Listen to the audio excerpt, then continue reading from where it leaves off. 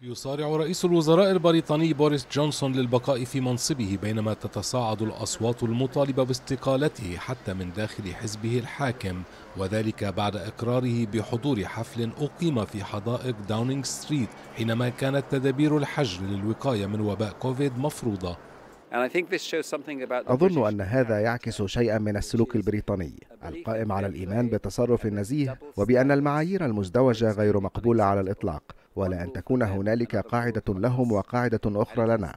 وهذا ما أثار غضب الشعب البريطاني وهو ما قد يشكل ضربة قاضية الآن لبوريس جونسون. وأرسل السكرتير الخاص لبوريس جونسون الدعوة إلى الحفلة لنحو مئة شخص وطلب منهم إحضار المشروبات. ونظمت هذه الحفلة في فترة قاسية عانى خلالها البريطانيون كثيرا من التدابير المفروضة للحد من انتشار الوباء.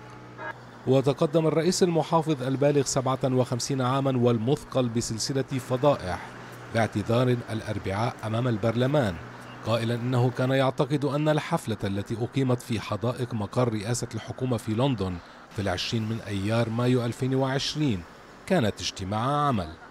كان اعتذارا قسرا. يبدو مما يمكنني رؤيته أن السيد جونسون انتهك القواعد عندما كنا نحن البقية ملزمين بالامتثال لتلك القواعد وكنا ندفع شخصيا ثمنا لذلك. أظن أن تبعات هذا الأمر لا يمكن أن تكون سوى أن يفعل السيد جونسون الشيء الصحيح ويستقيل كذلك اعتذر مكتب جونسون للملكة إليزابيث الثانية بسبب فضيحة حفلات داونينغ ستريت عشية جنازة زوجها فيليب.